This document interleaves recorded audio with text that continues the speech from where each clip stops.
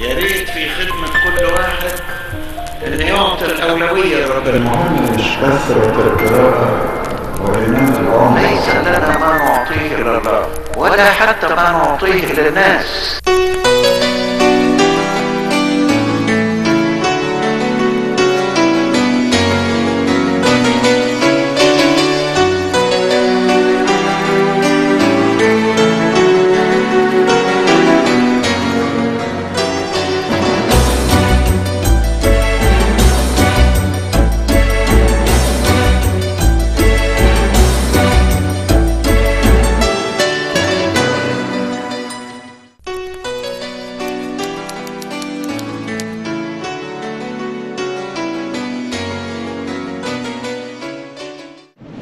فيه ناس بيقدموا أسئلة من جهة مشاكل بخصوص كنائسهم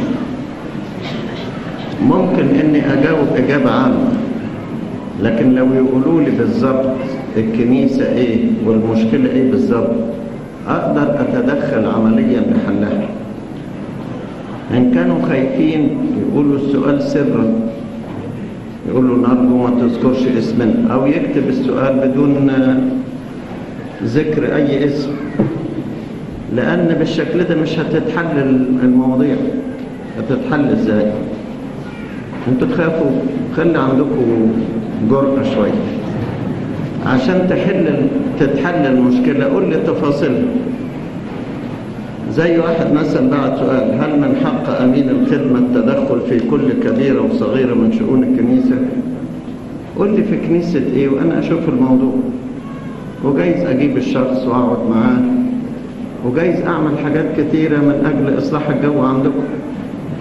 لكن تقول كده وكسؤال وتفضل تعبان وكاتم في قلبك وبتغلي والحكاية ما اتحلتش.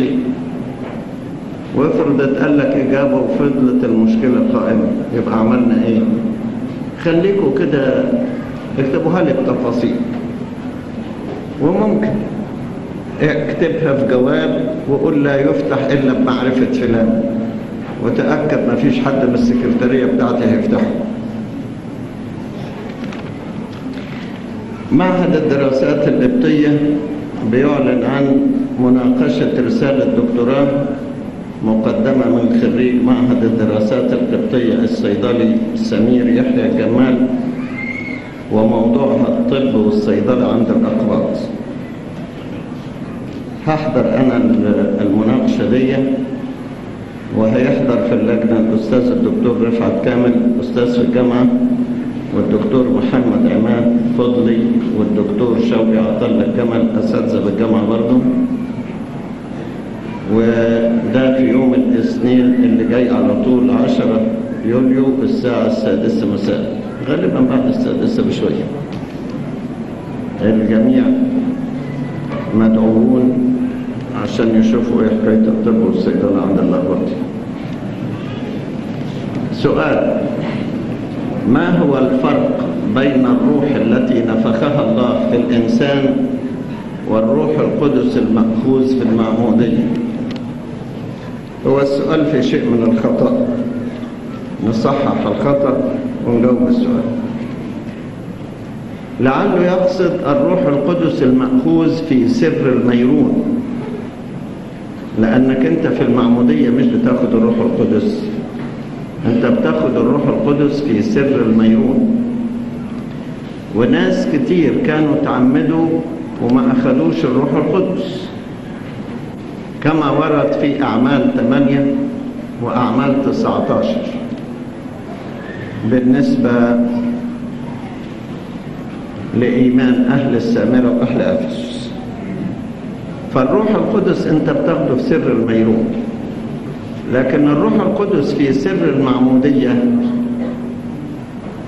بيعطي قوة للماء إن الإنسان يولد منه ولادة جديدة وفي الولادة الجديدة تغفر له الخطايا القديمة يموت الإنسان العتيق يولد إنسان جديد على صورة الله.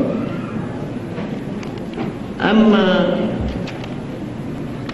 النفخة التي نفخها الله في آدم فهي نسمة حياة. يعني منحه الروح البشرية التي صار بها إنسانا حيا كائنا حيا. بيقول نفخ الله في آدم نسمة حياة فصار آدم نفسا حيا. صار آدم إيه؟ نفسا حيا. يعني أعطى له الحياة. شوية تراب مادة لا حياة فيها فنفخ فيه الله نفخة حياة.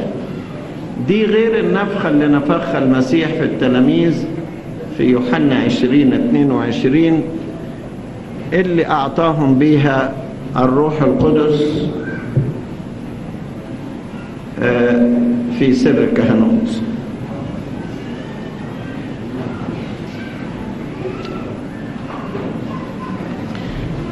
واحد بيقول تقدمت لخدمة فتاة عن طريق الكنيسة وبعد إتمام الخدمة لاحظت تغييرا ملحوظا في سلوكها تتكلم بألفاظ غير مهذبة لا تذهب إلى الكنيسة قطعيا. ذهبت إلى العمل في الوظيفة بدون علمي مع اتفاق بيني وبين والديها في إنها لا تذهب للعمل على أساس إن دخلي يكفي ويزيد. فأرجو توجيهي بعد أن رفضت الارتباط بي. يعني هي خلفت كلامه ومشيت غلط ورفضت الارتباط بي. ولا يريدون إعطائي الهدايا والشبكة طبعا ما دام هم رافضين يبقى من حقه ياخذ الهدايا والشبكة فماذا أعمل لكي أضمن حقي؟ هل يمكن فك محضر الخطوبة في عدم وجودي ما هو لو فكوا محضر الخطوبة في عدم وجودك يبقى من حقك تاخد الهدايا والشبكة يبقى هم اللي طالبين الفك. وهل ما أحضرت من أجهزة وهدايا وشبكة تضيع؟ إذا هم فكوا يبقى من حقك أنك أنت تاخد هداياك. بيقول على أساس أنهم مقربون للكاهن الذي كتب المحضر ولهم صلة كبيرة ببعض المراكز المرموقة في الكنيسة.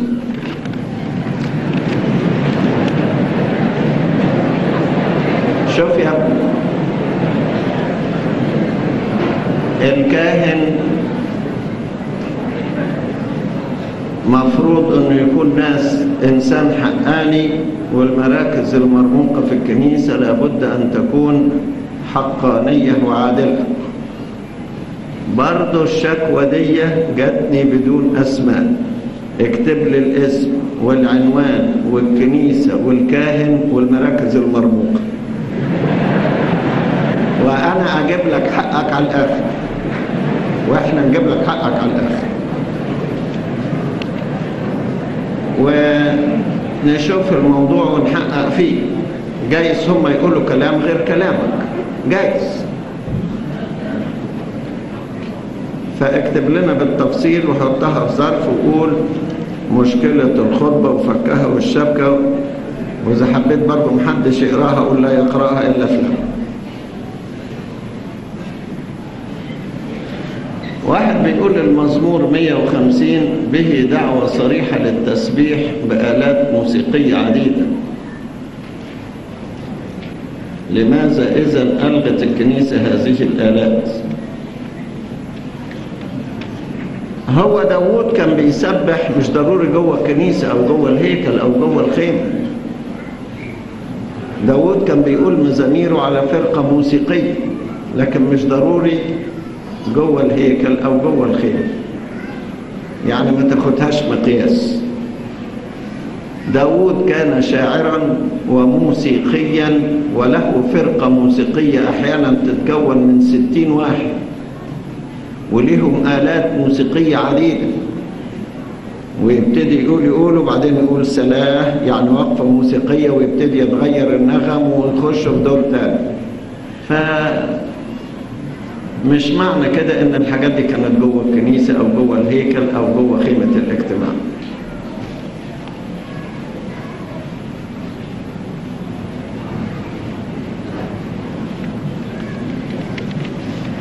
سؤال. بيقول أصبح الكثير من المسيحيين يلغون يلغوا عبارة الحلال والحرام ويستعيضون عنها بعبارة يليق أو لا يليق. فنرجو توضيح هذا المفهوم لأنه أخذ في الانتشار. ويزعمون أن عبارة الحلال والحرام ليس له وجود في الكتاب المقدس. لا في طبعا عبارة الحلال والحرام. يعني مثلا لما يوحنا المعمدان يقول له لا يحل لك أن تأخذ امرأة أخيك. إذا تزوج بامرأة الأخ حرام. بيقول له لا يحل لك ومش حلال. والأشياء المحرمة موجودة وكلمة حرام موجودة في الكتاب المقدس. فاللي بيقولوا موجود ومش موجود ده غلط. على الأقل موجود شر وخير. كلمة شر وكلمة إيه؟ خير. إيه الفرق بين عبارة الحلال والحرام ويليق أو لا يليق؟ الحلال والحرام يعني في شيء خطية أو بر شر أو خير غير قابلة لكده أما يليق أو لا يليق يعني الموضوع ممكن يمر كويس بس غير لائق. يعني مثلا كون إنك أنت تأكل ساندوتش في الشارع وماشي تأكل في الشارع ده أمر لا يليق لكن ما نقدرش نقول حرام. يعني مش خطية بذاته لكن أمر غير لائق. تمشي في السكة تقزقز تربس وترمي ال- القش. محدش يقول أكل الترمس حرام لكن تكون إنك تأكله في الشارع أمر غير لائق. غير إيه؟ لائق. لكن توسيخ الشارع بالقشر ده حرام. أنا بس بقول أين يوجد اللائق وغير اللائق. كون إنك أنت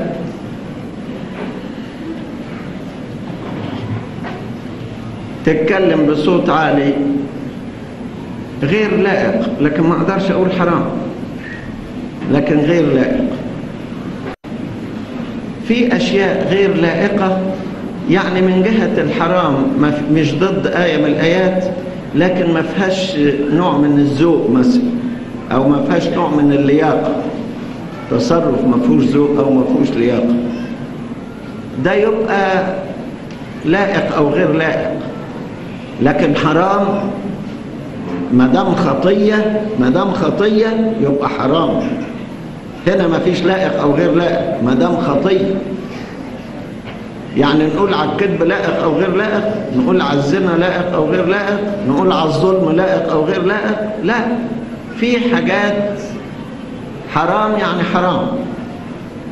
أما لائق أو غير لائق دي في التصرفات اللي اللي مش حرام في ذاتها لكنها غير لائقه تخش مثلا في بعض أزياء تخش في بعض التصرفات معاملات غير لائقة.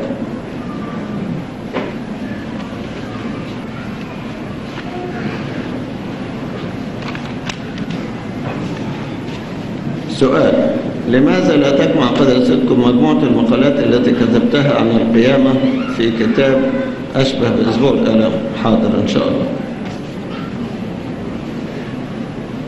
قلتم أيضا كثيرا عن صدور كتاب عن الأرواح فمتى نرى هذا الكتاب الذي ننتظر بفارغ الصبر؟ تقول ننتظر بطلوع الروح. إن شاء الله نطلعه لكم. واحدة بتقول منذ عشرين عام وأنا في خلاف مع زوجي الموضوع ده أرجو تتقدمين به إلى المجلس الإكليريكي لأن ما نقدرش المشاكل الزوجية نحلها على مستوى اجتماع عام. دي فيها كلام وحديث وأخذ ورد ومعرفة. هو يقول إيه وأنت تقول إيه وتحقيق. اتقدمي للمجلس الإكليريكي باللي أنت عايزاه. واحد بيقول عندما أرسل الله ملاكه بالاستجابة لطلب دانيال ألم يكن الله يعلم أن ملاك الظلم سوف يقابل دانيال في الطريق ويؤخر وصوله؟ وإذا كان الله يعلم فلماذا لم يرسل رئيس الملائكة ميخائيل منذ البداية؟ ربنا يعلم العقبات الموجودة لكن عايز يدينا درس إن ممكن رئيس الملائكة يعطل ملاك من الملائكة القديسين لغاية لما يجي ميخائيل الرئيس الكبير يقدر يقف قصاده ربما درس لينا في معرفة إيه قوة الشيطان ومعرفة إيه قوة الملاك ميخائيل اللي هي أقوى من قوة الشيطان. ربنا بيعرف إن في ضيقات هتيجي ويعرف إنه هيحل الضيقات. يعرف إن في ضيقة ويعرف إنه هيحل الضيقة. لكن كون إن الله يمنع الضيقات خالص يعني يمنع الشيطان من إنه يشتغل خالص لسه ما جاش ميعاده هيجي ميعاده بعدين. وبعدين بيقول نعلم أن ابنتي لوط انجبوا نسل إلى آخره فهل هذا النسل يعتبر نسل زنا؟ طبعا نسل زنا وكان محروم دخ محرم دخوله في جماعة شعب الله باستمرار. يعني كانوا من النسل اللي ممنوع دخوله في شعب الله. سؤال ثالث نعلم أن الإنجيل كتب بوحي من روح القدس فمن الذي كتب وسطر اسفار العهد القديم؟ برضه موحى به من الروح القدس. يعني مش الإنجيل بس العهد القديم والعهد الجديد. الكتاب بي بيقول كل الكتاب موحى به من الله ونافع للتعليم والتهذيب. كل الكتاب عهد قديم وعهد جديد. وبيقول أيضا لم تأتي نبوة قط من جهة إنسان بل تكلم بها أناس الله القديسون مسوقين من الروح القدس. كل الكتاب العهد القديم كتبوا عدد كبير يعني الأسفار الخمسة مثلا كتبها موسى. الأسفار المزامير كتبها داوود. الحكمة ونشيد الأناشيد. والأمثال كتبها سليمان. يعني في حاجات كتير كتبت. حاجات كتير جمعت أيام عزرا الكاهن. حاجات كتبت بواسطة أنبياء كبار وأنبياء صغار. لكن كله كتب بوحي من الروح القدس. سؤال بيقول إيه؟ مقدم, لقداستكم شكوانا من أب راهب يسمى ابونا فلان هذا الراهب يقيم في شقة مش في شقة بشارع الترع الغلائية ويستغل لقب الرهباني في أعمال السحر وعمل الأعمال.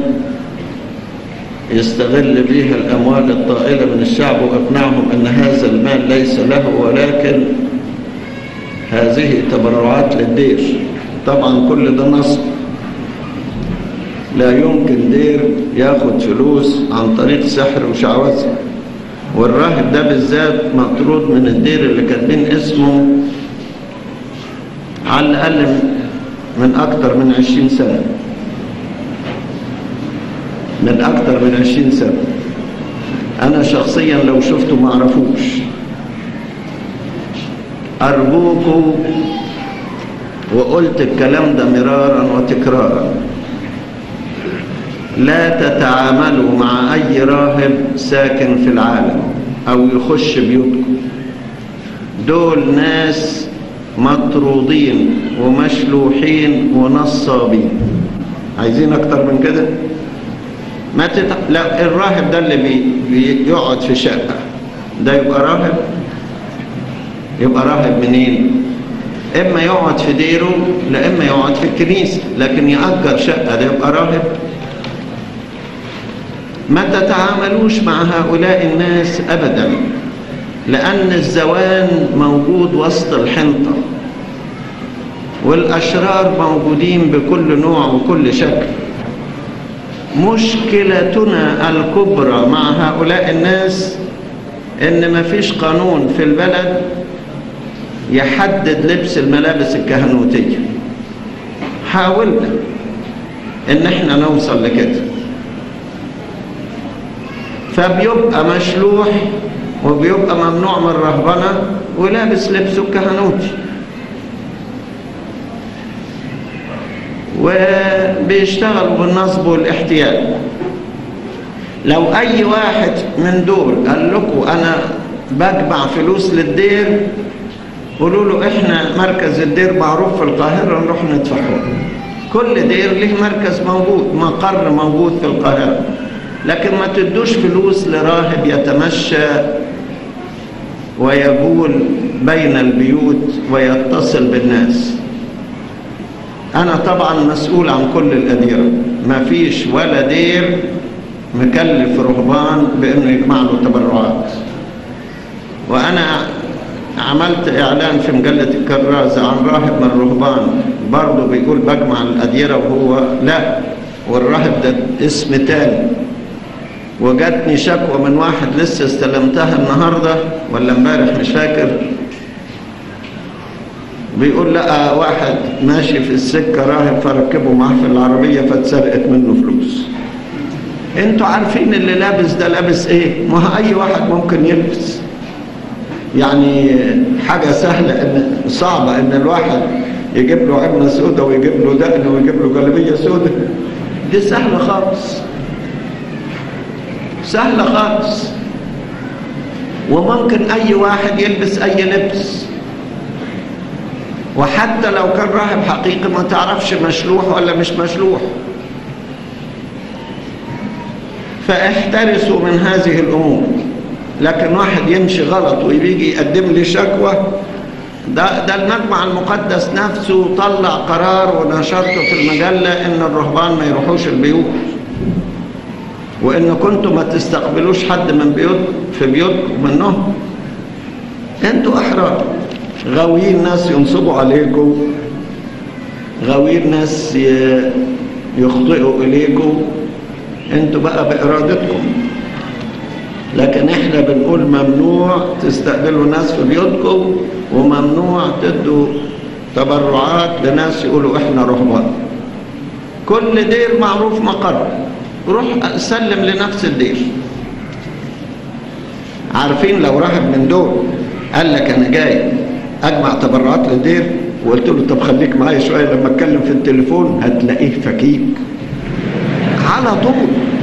وإن فضل قاعد معاك اضرب لنا تليفون ونيجي نستلمه منك.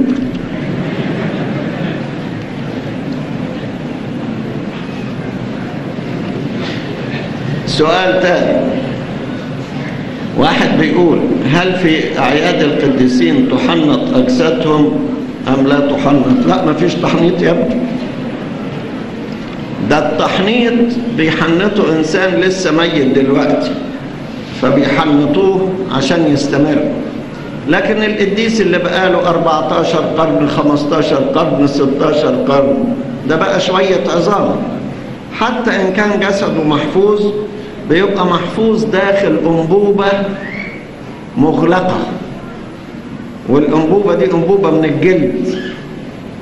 ولما بيجوا آه تلاقي ده تلاقي صاحب السؤال ده افتكر لما بنتهنه بالحنوط والأطياب يعني بنحنطه. لا الحنوط يعني نوع من العطور مش حنوط يعني تحنيط. اسمه حنوط لكن هو نوع من الأطياب والعطور يسموه حنوط. نوع من الأطياب والعطور. والإسانسات بتاعت بعض العطور أيضا يعني أحيانا نستخدم المسك مثلا ويتحط على أنابيب القديسين وبعض عطور أخرى. ولذلك لما إحنا بنتهن أنابيب القديسين بالأطياب والحنوط تظل يمكن الرائحة في أيدينا يمكن ثلاثة أيام مهما غسلناه لأن الجلد بيمتص شوية منها. فالحنوط مش معناها تحنيط معناها نوع من العطور والأطياب.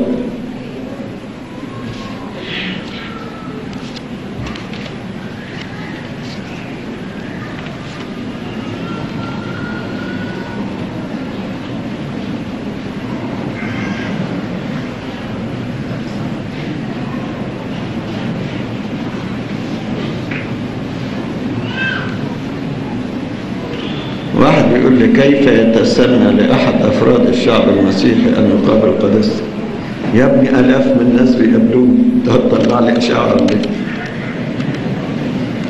آلاف من الناس بيقابلوني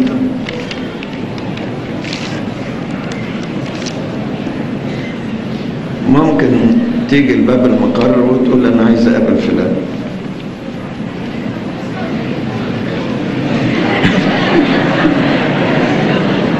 بس ما نجيش في زحام يعني نخرج من الاجتماع.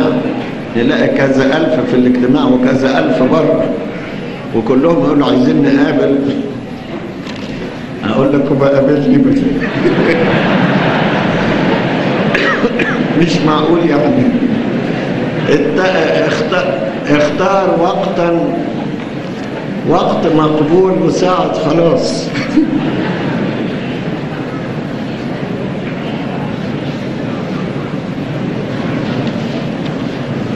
وعلى الأقل إن كنت أنا مشغول أبقى أطلب يحددوا لك ميعاد. لأن ساعات واحد يجي وأكون أنا عندي مواعيد بالدقيقة كذا ورا كذا ورا كذا ورا كذا كلها فيجي يقول أنا جيت وانتظرت ساعتين وما قابلتش. هقابلك إزاي يا ابني؟ ما أنا مشغول بمواعيد أخرى. فأنت أطلب ميعاد ويحددوا لك ميعاد. ويا ريت لو في مشكلة معينة اكتبها وإحنا ندرسها قبل ما نقابلك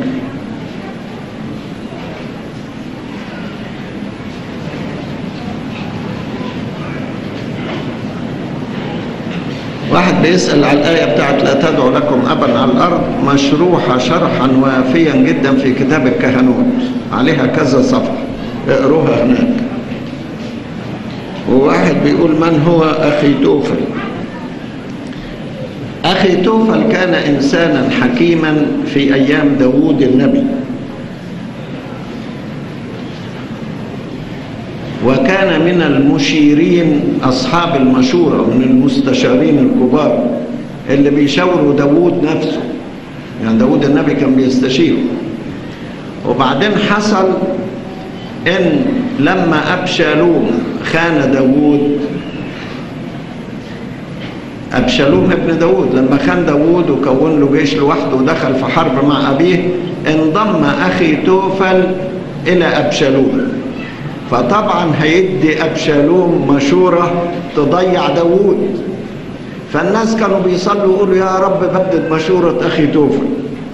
يعني ما تسمحش إن المشورة بتاعت أخي توفل تنفذ وإلا ممكن تضيع داوود. لأنه كان راجل ذكي جدا ويعرف يدبر المؤامرات. وفعلا ربنا بدد مشورة أخي توفل بأن أحد المستشارين الآخرين من أتباع داوود كان راح لأبشالوم متظاهر بأنه معاه وفشل مشورة أخي توفل. فأخي توفل رجل حكيم استغل حكمته في الشر. فإحنا بنقول بدد يا رب مشورتهم زي ما بددت مشورة أخي توفل.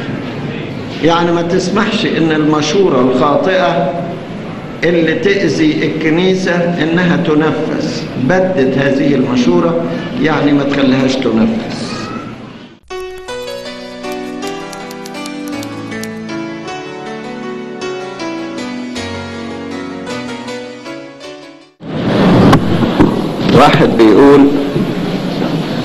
المسيح بيقول هو الطريق والحق والحياة وهو أيضا القيامة والحياة.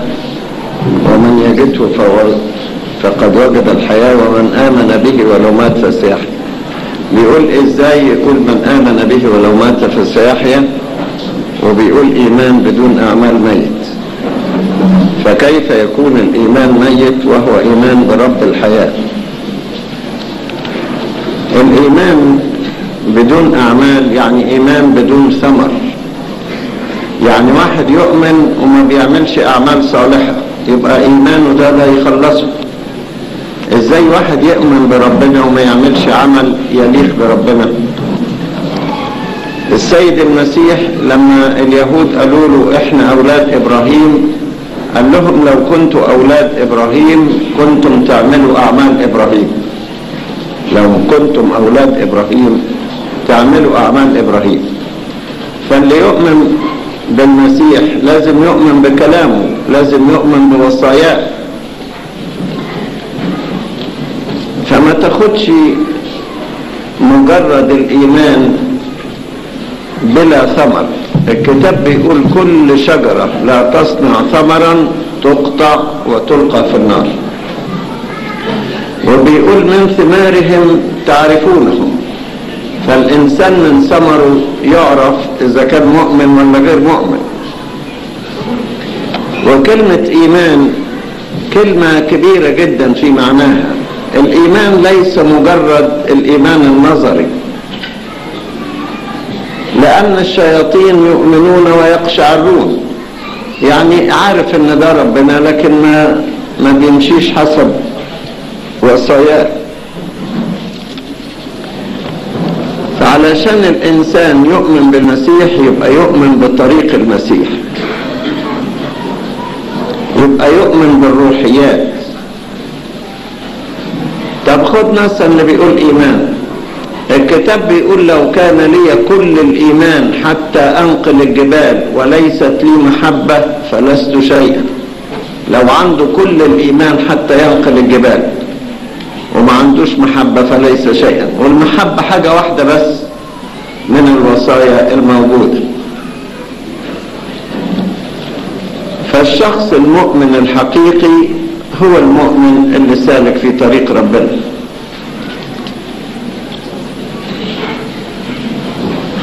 ولو كان ما بيعملش عمل صالح يبقى في الحالة دي لا يخلص. تقول لي إيمان. طب هقول لك على حاجة. السيد المسيح تكلم عن الدينونة في اليوم الأخير. فقال هيجي الناس اللي وقفوا على الشمال أقول لهم كنت جوعانا فلم تطعموني كنت عطشانا فلم تسقوني كنت عريانا كنت عطشانا فلم تسقوني كنت عريانا فلم تكسوني إلى آخره. أهي دي كلها أعمال. ودول اللي لم يطعموا الجوعان ولم يسقوا العطشان يذهبوا إلى النار المؤبدة مع إن قالوا له متى يا رب رأيناك؟ جوعانا متى يا رب رأيناك عطشانا فيؤمنوا إن هو الرب لكن مع ذلك ذهبوا إلى النار المؤبدة لأن ما كانش عندهم رحمة والرحمة اعمال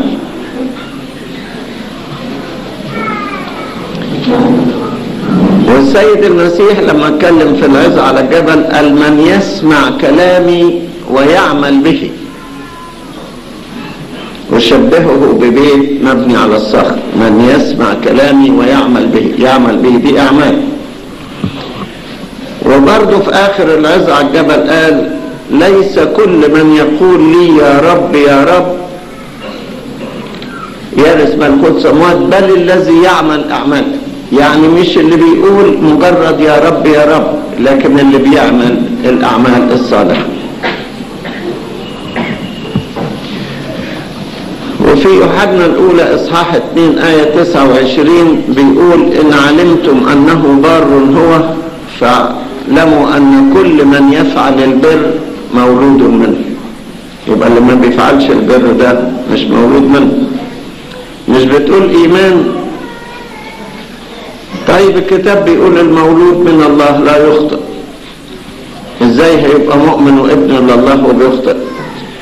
نصيحتي ليكم ما تاخدوش آية واحدة في الكتاب المقدس وتمشوا بيها. خد الكتاب كله ككتاب وامشي بيه. لكن آية واحدة ما تنفعش.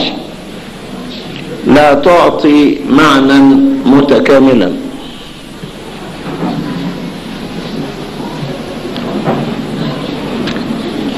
واحد بيقول انتقل من بلد لبلد لأسباب الشغل.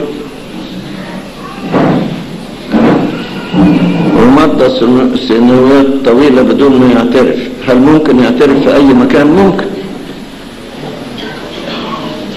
ممكن يعترف في أي مكان. حكاية السفر دي مش معناها إنه بعد عن اب اعترافه يعني يبطل يعترف على أي واحد ما دام في بلد تاني واحد بيسأل على إزاي المسيح جلس عن يمين الآب. تلاقوها موجودة في كتاب سنوات مع أسئلة الناس. تقراها أنا شارحها بمعنى تفصيلي واحد برضه بيقول لماذا يتزوج المسيحي امرأة واحدة مع إنه لا يوجد نص واحد في العهدين بذلك؟ ده أنا مطلع كتاب قد كده عن شريعة الزوجة الواحدة في المسيحية. روح اقرا كتابته أنا فاكر مرة من المرات لما كانت طبعت الطبعة الرابعة لهذا الكتاب على ما أظن من قيمة 12 سنة تقريبا. وبعدين كان واحد صاحبي مستشار فات عليا فديته كتاب ده. بتاع شريعة الزوجة الواحدة في المسيحية قال لي ده معناه إيه؟ إيه الكتاب ده؟ عن إيه؟ قلت له على إن الواحد ما ياخدش غير زوجة واحدة. قال لي إحنا قادرين على الواحدة لما ناخد أزيد يعني من غير كتاب. من غير كتاب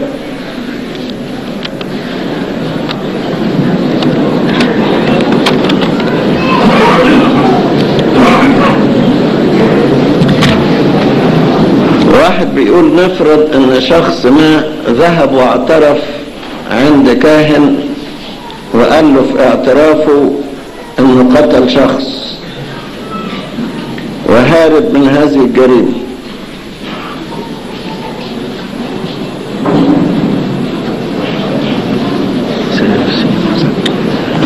وكان أحد أقارب الكاهن متهم فيها فما موقف الكاهن؟ علما بأننا نعرف أن الكاهن لا يمكن أن يبيح بالسر. الاعتراف ليس مجرد اعتراف. والكاهن مش مجرد إنه بيقرأ التحليل. الكاهن لازم يقود هذا الشخص إلى التوبة. لازم يقوده إلى التوبة. يعني مش بس يقول له الله يحلك لازم يقوده إلى التوبة. كان ارتكب جريمة قتل. وواحد معرض إنه يعدم بداله ظلما يبقى مش تائب إذا ترك هذا المتهم البريء يموت يبقى إنسان مش تائب. أحسن حاجة إن الكاهن يقوده إلى التوبة. ويفهمه أهمية حياته الأبدية مش مجرد الحياة على الأرض. ويفهمه إن هو لا يظلم شخصا يموت بسببه.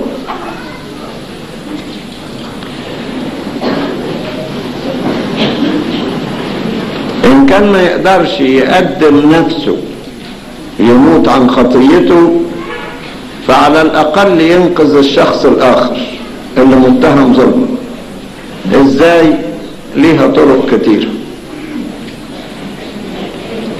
ليها طرق كتير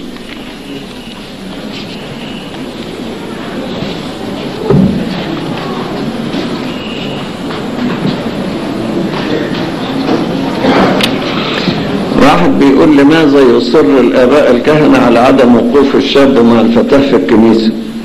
والكنيسة مكان اجتماع اجتماعات يا ابني من النهضة وهل هذا خطأ؟ إذا كان البعض يأخذها كأخوية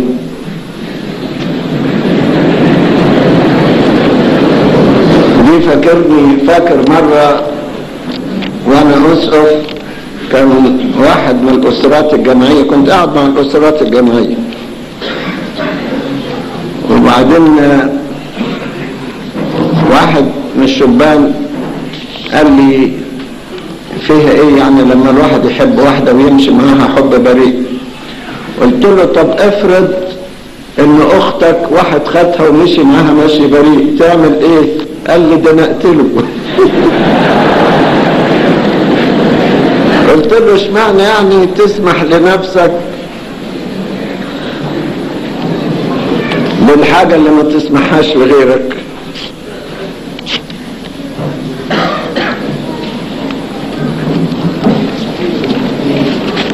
وجايز حاجة شيء بريء ينقلب لشيء غير بريء. سؤال هل خلص سليمان أم لا؟ خلص سليمان.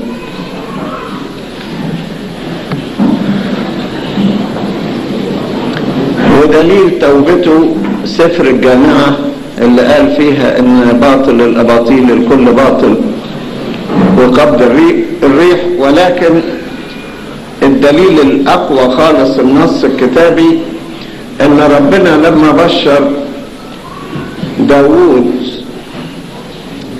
بأن مملكته تدوم وابنه يجلس على عرشه قال له ان اذا أخطأ اؤدبه ولكن لا أنزع رحمتي منه. اؤدبه ولكن لا أنزع رحمتي منه. فربنا ادبه بأن مملكته انهارت لكن لم ينزع رحمته منه وسليمان تاب في آخر أيامه وزي ما قلنا دليل توبته سفر الجامعة واحد بيقول عندما أذهب لأعترف يكون دائما اب اعترافي مستعجل ويسألني أسئلة ورا بعضها ويكون ردي له. فهل يحق لي أن أغير اب اعترافي؟ هو برضه لازم ترحموا اباء الاعتراف يعني أب الاعتراف ده وقته محدود. وفي ناس بيجوا عند أب الاعتراف يحكوا وفي واحد يجي عند اب الاعتراف ويلاقي 30 40 واحد منتظر وهو ما دام دخل جوه ولا يهمه بقى ال 30 40 ياخد راحته على الآخر. ويبقى الأب قلقان على الناس اللي منتظرين وصاحبنا مش هم فبرضه خليكم مركزين في اعترافاتكم. وسيبكوا من الأشياء التفاصيل اللي ملهاش لازمة. واتكلموا بإعتراف مركز. ما ياخدش وقت طويل. عشان غيركم مش بس عشان أب الاعتراف عشان غيركم. زملائكم الباقيين. يعني مثلا افرضوا إن منطقة أب الاعتراف مسؤول فيها عن 250 عيلة يعني حوالي ألف نفس. الألف نفس دول. لو قعد مع كل واحد ربع ساعة يبقوا محتاجين ل 250 ساعة. 250 ساعة. لو قعد ياخد اعترافات خمس ساعات كل يوم ومش معقول كل يوم.